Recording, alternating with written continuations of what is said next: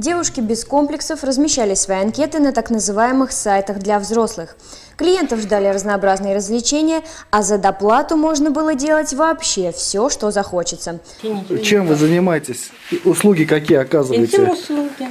Сколько стоит час работы, труд, труда? Массаж 2000. Интим-услуга. Интимная услуга. 500 рублей доклад.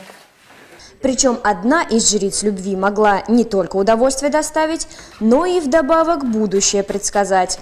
Я поняла, Спасибо в принципе, большое. с полиции, я просто хотела проверить. Спасибо. Сон, Спасибо. сон в руку или нет, Спасибо сегодня огромное. снились Извини, пожалуйста, что мы тебя отвлекли. По данным фактам, на задержанных были составлены административные протоколы по статье 6.11 Кодекса административных правонарушениях. Им грозит наложение административного штрафа в размере до 2000 рублей. Проживаете здесь? Я снимаю. Давно? Ну, точно сейчас не скажу. В договоре надо смотреть. Поэтому, уважаемые арендодатели квартир, проверяйте на добропорядочность своих квартиросъемщиков. Неизвестно, чем они занимаются по ночам. Анатолий Чернов, Нарек Хачатурян, Анастасия Потапова, Вести, дежурная часть, Саратов.